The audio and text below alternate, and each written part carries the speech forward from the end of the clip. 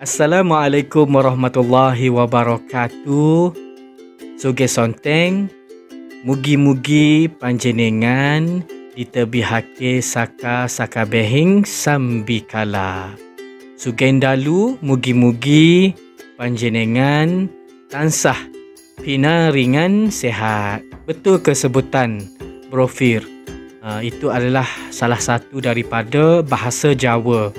Jadi pada hari ini brofir ingin untuk membincang atau ngobrol mengenai bahasa Jawa yang mungkin uh, ada dalam kalangan sahabat-sahabat dari negara lain yang tidak tahu mengenai bahasa Jawa yang merupakan sebahagian daripada bahasa yang ada dalam negara Indonesia.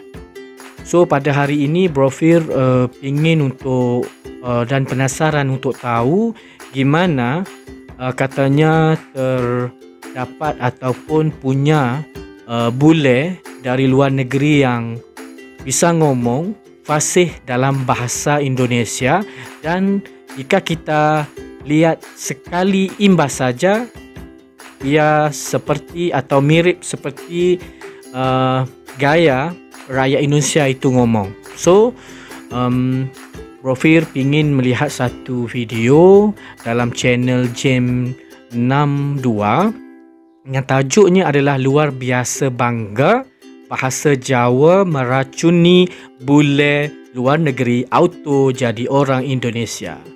So kepada sahabat-sahabat boleh uh, support dan follow uh, subscribe channel Gen 62 ini mungkin kita bisa support original uh, pemilik video ini okey. Dunia selebriti. Asli Malang, ibu eh Malang. Iki Malang. Kalau mamaku rantau. Rampal dia, rampal tempat militer. Jompongan 10. Mangkari ramani aja Songgo Kerto. Football team soft. Bule biasanya sangat identik dengan bahasa Inggris atau bahasa yang sesuai dari negara mana mereka berasal. Namun bule yang dibahas kali ini mereka bisa begitu fasih berbahasa Jawa, mulai dari yang kasar hingga halus. Bahkan ada di antara mereka mengakui bahasa Jawa sebagai bahasa ibunya. Tentunya hal yang luar biasa karena untuk menggunakan bahasa Jawa halus ini sangatlah sulit. Kalau ke Roma jadi orang Oh. Roma. Karena kita ke Jawa ya jadi orang Jawa. Terus dulu. Pak ini rokok. Kelima bule yang dibahas kali ini adalah Dev Chepkot atau yang sering dikenal sebagai Cak Dev. Juga Naohiro Katsuma yang berasal dari Jepang. Oh, Jepang pun ada eh. Dan Nathan Bayu atau kakak dari Jack Dev, serta Andrea Henriette Marcella. Meskipun berasal dari negara yang berbeda-beda, ketertarikan keluarga dan juga keinginan dalam mempelajari budaya Indonesia menjadi latar belakang mereka mempelajari bahasa Jawa.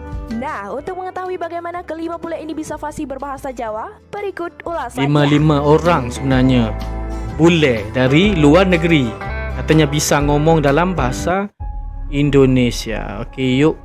Uh, bentar ya, ada iklan. Okey, yuk. Jack Dev. Australia yang tinggal di Surabaya. Oh, tinggal di Surabaya eh. Kamu wong bule apa wong Dev atau akrab disapa Cak Dev adalah bule Australia yang sudah lama tinggal di Indonesia. Ia sering kali membagikan video prank di kanal YouTube-nya mengenai kebiasaannya dalam berbahasa Jawa. Cak Dev menikah dengan orang Indonesia dan dikaruniai dua orang anak. Pertama kali ia ke Indonesia bersama keluarga dan keluarganya pun sudah erat dengan budaya Indonesia. Ibunya saat masih SMA di Australia, ia sudah akrab dengan budaya dan bahasa Indonesia. Oh. Ketertarikan akan culture Indonesia membuat keluarga Cak Dev memutuskan untuk menetap di Indonesia. Lagi aku karo wong tuaku rek. Wong tuaku teko Australia. Sangat fasih. Lagi bapakku jenenge sapa, Pak? Hendro. Hendro. Karena Cak Dev menetap di Surabaya, gaya bahasanya begitu kental dengan aksen Surabayaan. Betul. Seringkali ia dan istrinya juga mengajarkan bahasa Jawa kepada anaknya yang dinamakan Jago. Okey. Wah, Indonesia banget ya Cak Dev ini. Okey, nunggu ini istrinya. Tekon dia. Aragon. Oh, ini anaknya. Diceluk Aragon. Sorry, sorry. Aragon kamu tekon di mana Oh.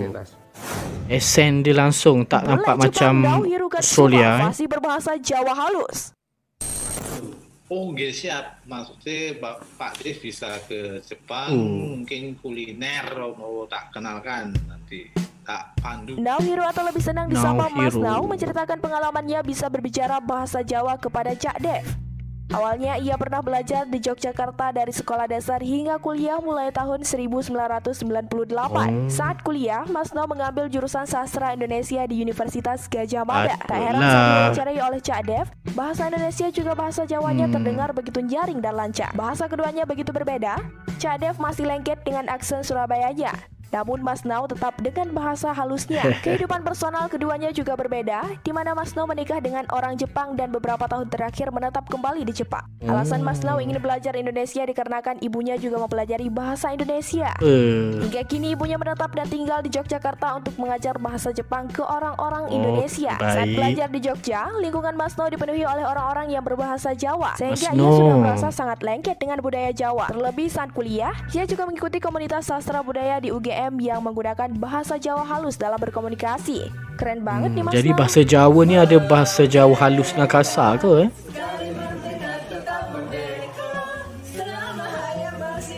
Oh, hafal lagu ni Mas No. Eh, Tinggal 48 tahun di Indonesia, 48 Rap Skirman tahun. pilih bahasa Jawa jadi bahasa Lama tu. Ibu. 8 tahun tinggal di Indonesia. Terus kan. Hah? Oh, Menceritakan pengalamannya kepada Cak Dev, Rap mengaku lebih senang tinggal di Indonesia.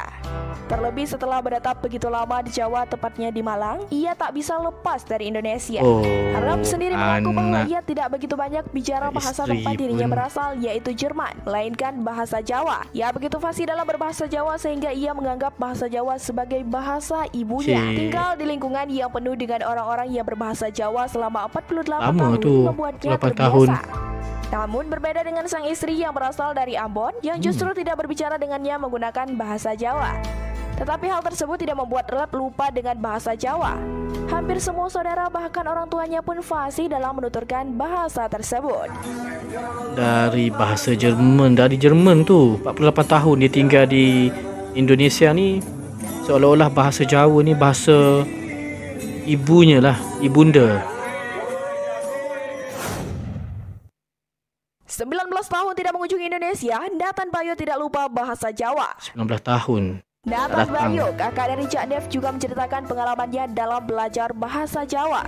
Mengetahui bahwa keluarganya sangat akrab dengan budaya Indonesia dan pernah tinggal lama di Jawa, Nathan paham betul dengan bahasa Indonesia. Kecintaannya terhadap budaya Indonesia pun dapat dilihat dari profil Instagram miliknya. Ia menulis, Aku artis dan pecinta Indonesia, Aduh. asli Australia, tapi hatiku akan selalu teriak satu Oh. kata, Merdeka di bionya. Namun sudah hampir 19 tahun tidak mengunjungi Indonesia, Nathan tidak lupa dengan bahasa Jawa. Terbukti ketika adiknya Cak Dev berbicara dengannya melalui panggilan video, Nathan dengan sigap menjawab pertanyaan-pertanyaan Cak Dev menggunakan bahasa Jawa. Nah, iki terkenal wong Jawa iki Oh. eh, tongue twister. Nang rel sepur. Sepur kok maksudnya? Oh. Yo, kasih rel. agak santai Ya, dia ngobrol dalam bahasa Jawa Andrea Harriet Marcella punya kemampuan berbicara 17, 17 bahasa. bahasa ni Oh, ya enggak ngono kan maksudnya ke Cahayu. Hmm. Oh. Hebat eh Oh, cantik ya. Jadi nama aslinya Andrea. Andrea ini bule Salap TikTok berdarah Inggris menjadi viral setelah unjuk kemampuan berbahasa Jawa yang diunggahnya melalui akun TikTok pribadinya @henrietandrea 17 underscore. Ternyata budak cantik ini punya kemampuan berbicara 17 bahasa Bahasa termasuk bahasa Sunda Jawa, dan Jawa. Manado, Sunda, Mandarin, Filipina, Jepang, bahkan India. Se-India pun bisa, eh. 17 bahasa itu, 17. Apa aja 17 Jawa dihitung juga tapi kan. Iya, bukan 17 negara, jadi ada beberapa bahasa daerah Indonesia. lah. Ada Ketika diwawancara di stasiun TV Trans 7, Andrea mengatakan jika tidak tertarik dengan bahasa bule, ia lebih menyukai bahasa Asia. Hmm. Andrea mengaku ke-17 bahasa yang ia pelajari berawal dari kesenangannya menonton film dan mendengarkan lagu. Ia memiliki kemampuan tinggi dalam menyerap pelajaran khususnya di bidang bahasa asing ini. Lahir dan dibesarkan di Salatiga, membuat kemampuan bahasa Jawa Andrea Henriette ini sangat lancar. Lucunya, hal ini membuat perempuan yang berprofesi sebagai DJ ini justru harus belajar bahasa Inggris. Andrea saat diundang sebagai bintang tamu di acara Talkpot milik Surya dan Jegel mengatakan jika ia sebenarnya bisa bahasa Inggris karena kursus saja. So kalau kita tengok dalam video memang antara yang paling uh, dahsyat mengkonfirm yang 48 tahun tadilah. Macam mana dia boleh kekal sampai 48 tahun. Tinggal di Indonesia dan memang kalau dah 84 tahun confirm dia akan fasih so apa yang bisa Rofir kongsikan dengan sahabat-sahabat semua memang pada video yang kita lihat sebentar tadi ada lima uh, bule dari luar negeri dan mereka masing-masing punya alasan yang tersendiri untuk uh, menggunakan bahasa Jawa. Jadi emangnya bahasa Jawa ini mempunyai satu nilai estetika yang mungkin uh, bisa menarik siapa saja yang mungkin pada kali pertama ingin menuturkan perkataan itu dan apa yang Profir uh, bisa komentar di situ adalah bagaimana mereka bisa uh, ber apa menggunakan bahasa tersebut dan semestinya ia dikaitkan dengan uh, cara ataupun uh, layanan entertain from kita kata uh, rakyat-rakyat Indonesia terutama sekali uh, macam tadi kita cakap mereka bisa ngomong dalam bahasa Jawa ini bukan sahaja dari Jerman ada yang dari Japan dan ada yang dari uh, orang kata dari negara-negara Eropah ini bermakna mereka ini semua sebenarnya sangat tertarik dengan bahasa kerana mereka fikir bahasa-bahasa di Indonesia ini um, mampu menyatukan bukan sahaja satu golongan sahaja tapi banyak sangat. Jadi apa yang Brofir tengok pada kali ini Alhamdulillah Brofir dapat belajar bagaimana untuk kita uh, mengenali bahasa itu terutama bahasa Jawa yang mungkin kebanyakan di negara Indonesia menggunakan bahasa itu.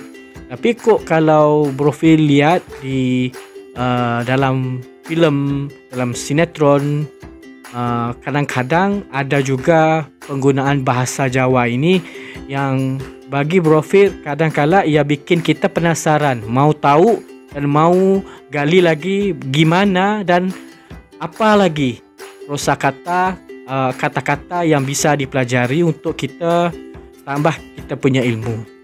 So itu saja untuk video uh, Brofi pada kali ini. InsyaAllah kita ketemu lagi di lain waktu. Suge Ejang. Bye-bye.